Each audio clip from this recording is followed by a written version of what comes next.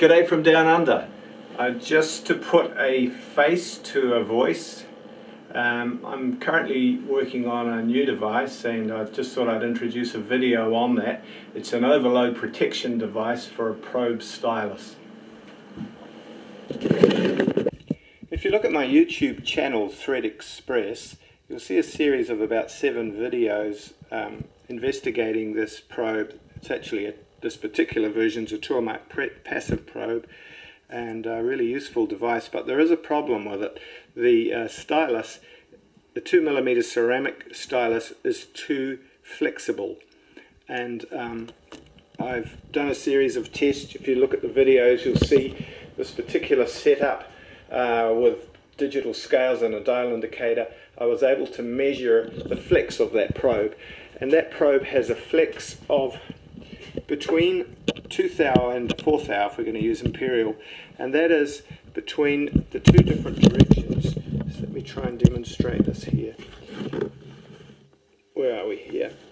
The two different directions, or, or, the, or the various different directions of the internal swing arm. So that's, that's de de deflecting it out of contact and um, in, in both the X and Y plus and minus directions. And you can actually feel the uh, swing arms breaking away at different pressures. And I've measured that, and I know in one direction it's about 140 grams, and in another direction it's about 110 grams.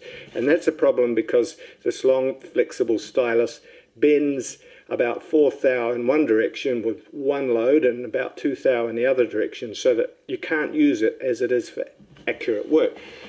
So this is just a quick summary. So I've made a, a stiffer stylus which has a 3mm carbide uh, shank and a 4mm ball um, and, it, and it completely solves the problem. It's uh, well 90% solves the problem. It's very stiff and so the various pressures from the different angles isn't really a problem.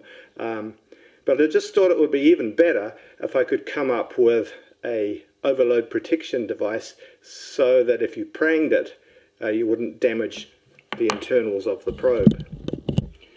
Okay, so I've been designing and developing um, different versions of this uh, overload protection uh, stylus for the probe.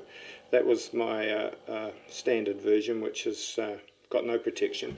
This is the successful device that has really good protection. Um, after many different designs. Um, I don't want to disclose at this stage how it actually works, but let me just demonstrate it. Um, you can see it's, it's perfectly rigidly uh, attached to the stylus hub, um, but I'll just break it off now, and you can see that the load is um, not sufficient to internally damage the probe turn around out of view, secret squirrel stuff here. Now it's disconnected um, and I can connect it back up again in a, a few seconds, probably about a minute. And that's it, connected back up again, ready to go. It's actually literally just um, a minute or so's work.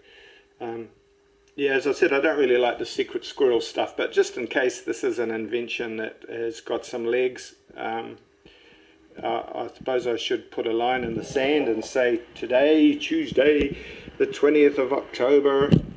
How can I establish that? I know with a cell phone. Here we go. Tuesday, 20th of October.